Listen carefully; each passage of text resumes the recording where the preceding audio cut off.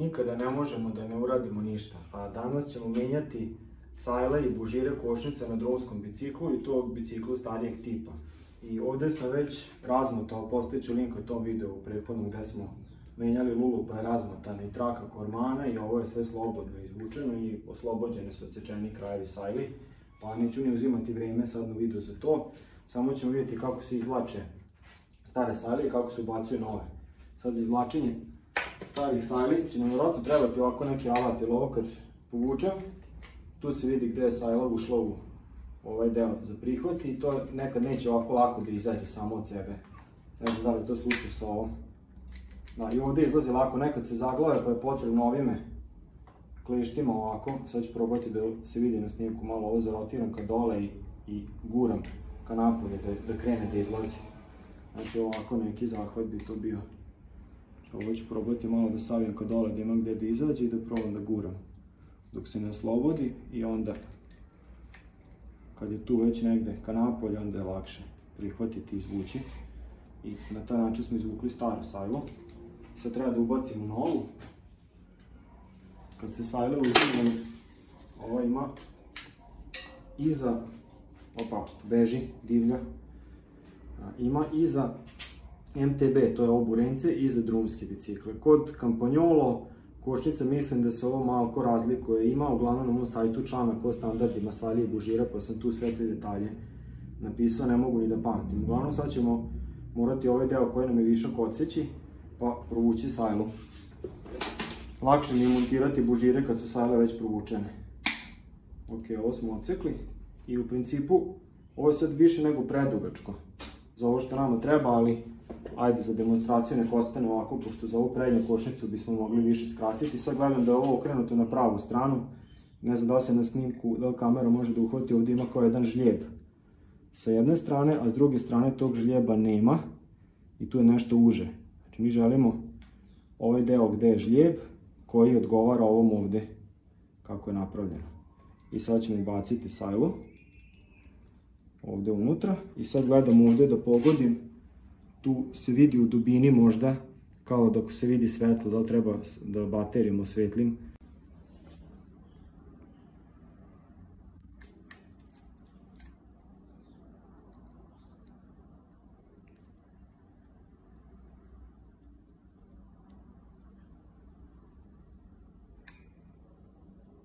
E, ovde u ovom delu snimka mislim da se nazire taj, samo da probam to zoomirati taj deo gde je, evo vidi se svetlo, tu treba da potrefim.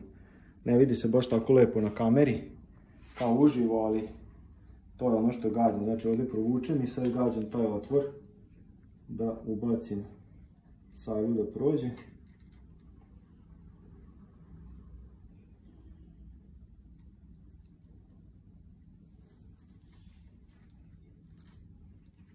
Sad ako krenem da zapinjem, u pravcu smjeru kazaljke na satu kako su niti pletene se malo okrene sajla i onda ona prođe ako neko od ovih ivica zakači. To je u principu to, sad ćemo provući skroz cijelom dužinom i gledamo ovde sada da legne lepo do kraja. Da bi kasnije lakše izvlačio, da se ne bih mučio, ja ću ovo sada da namažem montažnom pastom malo.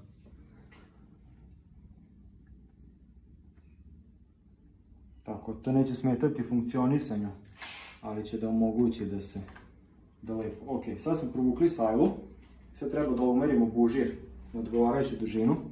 Sad kod drumskih kormana to je malo nezgodnije.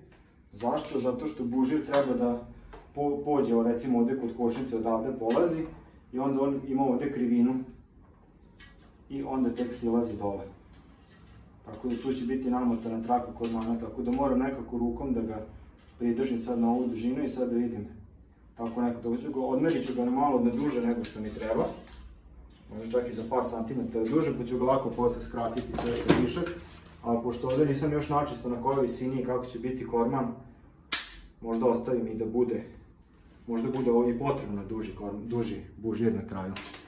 Tako da ocekli smo kraj. I sad ćemo u kraju obraditi malo na kamenu pre nego što ga provučemo kroz sajlu, to je ovde.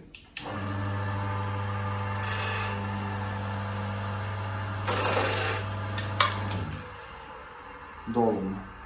Vidi se sad je lepo poravnat.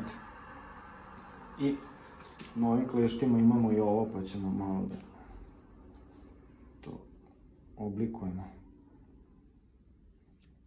Ok, super. Sad stavljamo kapicu za bužir. To izgleda ovako. Stavit ćemo malo montažne paste na nju.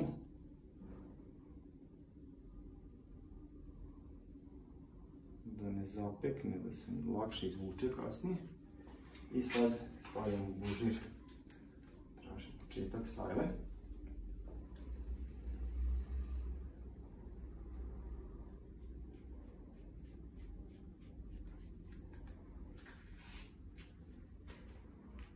Treba obratiti pažnju da nije ostala već kapica od ranije nekog bužira, prije nego što se ovo uradi.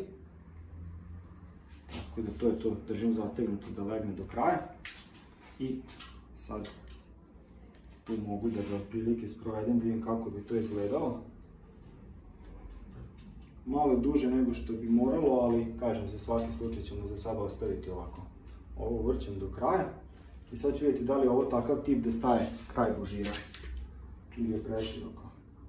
Preširoko je, znači ovdje nema potrebe za krajem bužirota, već u ovome se nalazi, tako da možemo provući samo sajlu. Hop.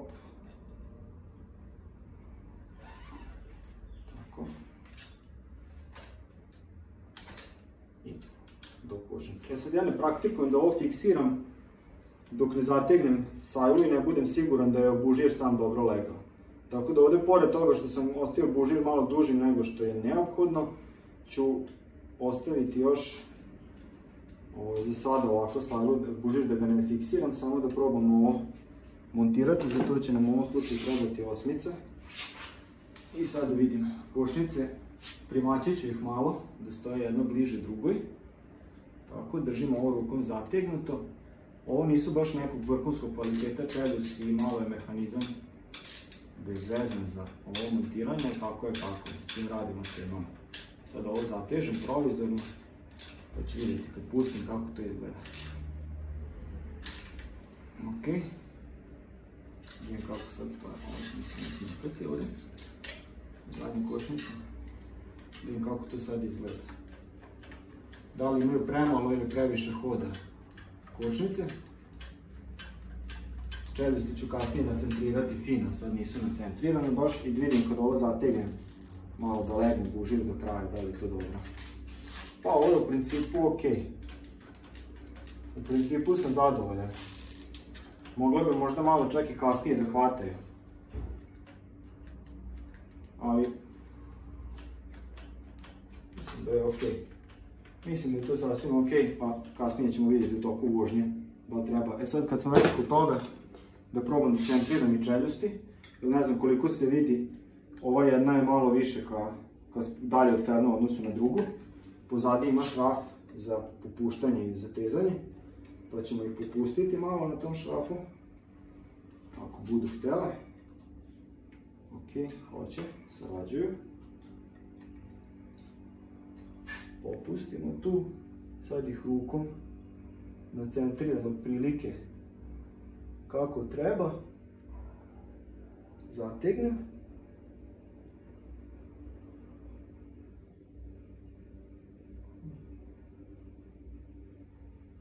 Tako je prilike, sad ih držim i dotežem na konačnu silu zatezanja.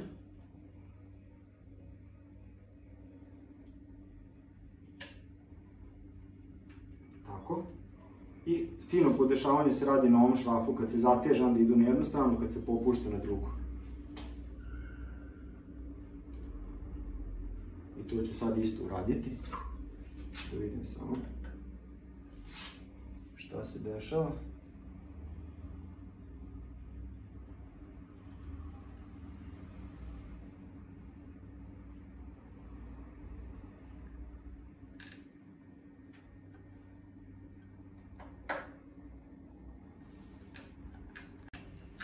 Ok, to je otprilike to. Da ne gubimo sad previše vremena, ali mislim da su lepo, ne mora da se puno točak. Skoro ništa, kad stisne košnicu, nijedno od ovih čeljusti ne udara ranije, to je kod tog novijeg tipa košnice da su one kao, da kažem, sinhronizovane i simetrične.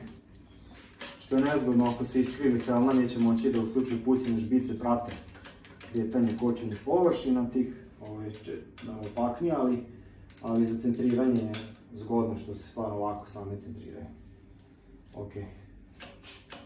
To je to. Sad ostaje da ovo fiksiramo i da namotamo traku za korman. To ću još prikazati kako se ovo, kako se ovaj bužir fiksira. Moram uzeti za to izolir traku.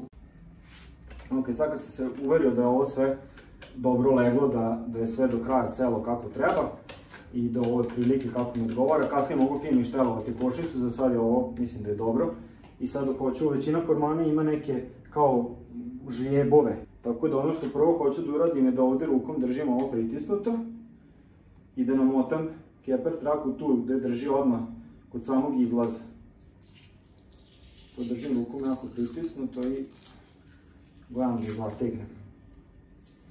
Dva kruga su sasvim dovoljna, keper traka se ne isteže tako lako za razliku od izolir trake, pa je meni za ovo draža i više onda koristim. Sljedeće mjesto gdje fiksiram je na ovom prevoju, znači na srednjem tom dijelu, na samom prevoju. Radim isto to. Držam utisnuto i hoću da napravim dva kruga cijela. To je dovoljno. I ostaje na ovom dijelu gdje se izravnjava, odnosno izravnjuje ili kako već pravilno reći. U ovom slučaju kod, kod tog dijela tu pred kraj će ići traka kormana, pa će ona držati. Meni je bitnije da, da uhvatim bliže k ovom dijelu kod prevoja, da ovo drži tu neku, da kažem, fiksiranost cijelog, cijelog ovog bužira. Eventualno se može i na dva mjesta, jednom pred kraj, jednom ovdje, ali ovdje kasnije nema potrebe, to će držati traka kormana. Bitno mi je ovdje gdje su hvatovi, da tu bude fiksirano, da ne beži, tako da ću ovdje negdje otprilike da po završetku te krivine da ga za svaki slučaj fiksiram na još jedno mjesto. I to je u principu to. Provukli smo savije bužira, ostaje još da isječemo kraj i da stavimo kapicu bužira. Ostavit ću slobodno malo više ovoga, da imam sa čime da radim ako budem htio da popuštam ili da otežem kasnije. I stavit ćemo kapicu bužira na kraj, da se ne rascvetava. Tako, to mislim da je dobro i to ću sad raditi. E, isti princip i za drugu kočnicu, neću sad prikazivati dva puta isto, tako mislim da je jasno. Šta da kažem, pokušavajte ovo kod kuće, ne morate da budete obučeni profesionalac da biste sami sebi na svom biciklu zamenili i isproveli sajle kočnice i bužire, tako da hvala što ste gledali, pozdrav!